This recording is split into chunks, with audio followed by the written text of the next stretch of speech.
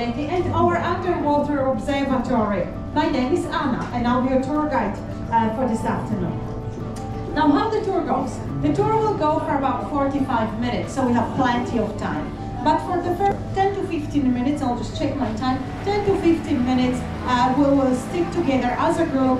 I will provide you with some commentary about the marine life we are looking at and a little bit of the history of the jetty. So we'll stop at each of the platforms, so please don't go ahead of the group for that first 15 minutes, just for the safety. And after that, when we will get to the sea floor, you will have about half an hour of your free time. I will be there with you if you have any questions, but I will turn my microphone off, and that's your free time to come back to the windows, have a really good look, and time for your photography. So please don't feel rushed. Now, as you can see, we'll be heading down on the spiraling staircase, and they are made of steel and concrete, so they are quite unforgiving if we trip or fall. Please do take extra, extra care on the steps don't hesitate to use the handrails. We do sanitize them after every tour. You'll see my colleague Jeff will be sanitizing them.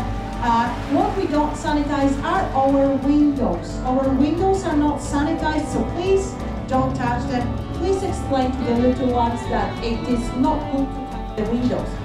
Also, because they are made of marine acrylic, they very easily marked and scratched.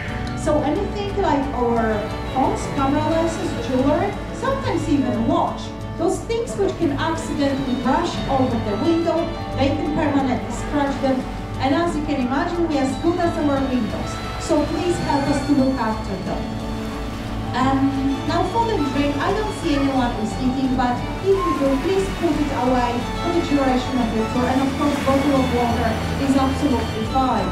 Um, just uh, the drinks. Also, we have a little cute uh, shelf in the corner. If you want to leave anything, and you're welcome to use it for backpacks or heavy jackets or anything you don't want to take downstairs.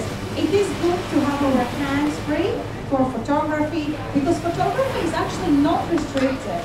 So you are very welcome to take photos, videos. You can use the flash. Uh, it is okay for the marine life. They are fine with it. You can take photos during my talk or later. We always, you know, see some things when, when we talk. So trying to be polite